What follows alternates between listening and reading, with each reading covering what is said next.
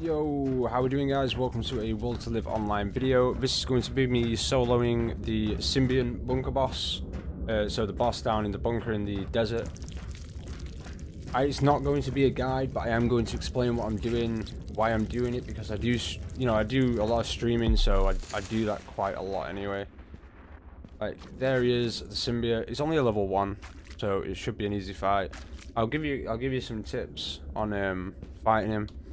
But the best tips I can give you is you want to buy, like, I'm taking 25 large medkits, 15 ciders, 15 large antidotes, and 35 bandages. You don't need this much, but I just bring this much just in case. I've also got 1,500 HP rounds.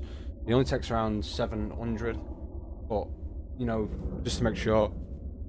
If you've got the carry weight, carry it. If you haven't, then obviously you want to then lose a couple items. So I'll just explain really quick how to kill him. So you want to shoot these uh, canisters when he goes near them, um, and that'll stun him for a second, and then you can shoot the crap out of him, probably pump out 20, 25 bullets um, at full damage. If not, you're going to be barely doing any damage at all.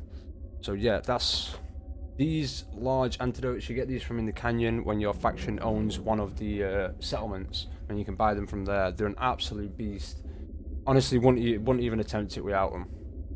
Um, yeah, but here we go. Let's do this. Shoot him, get his attention, and we're off.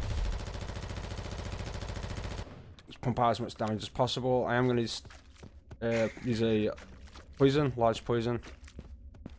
Alright, I'm going to let him hit me here. The reason I do that is so he stops next to the barrel uh, and it stuns him. So we could do one here actually, let him hit me. Oh, he hit me with it. Still got him. Cheers, bud.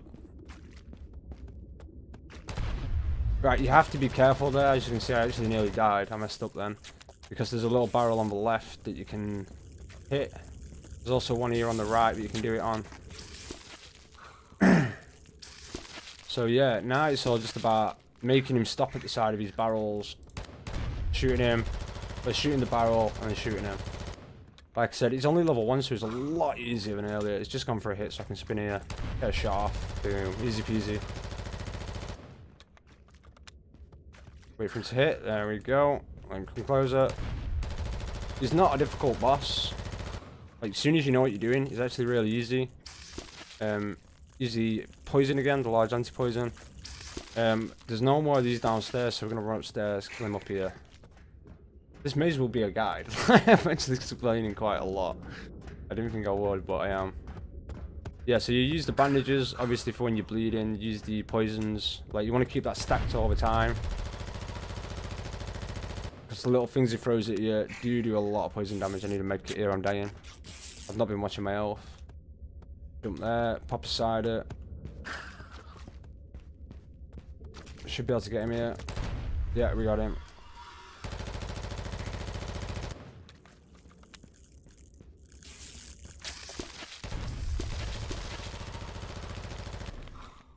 Yeah, we've nearly got him. Alright, this is going to be a tricky one, so I'm going to stand here, wait for him to get close, run.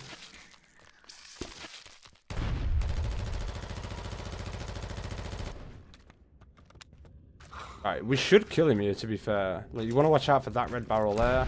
You see both of them explode. He's dead. Super easy. That's why I run to this corner, because if I run here and then shot him, as you can see, there's a backpack here, so someone's died doing this. I'm going to actually see what's in here. Uh, nothing. Yeah, so someone must have died, probably shot that barrel, and then this barrel would have killed them. Have a look.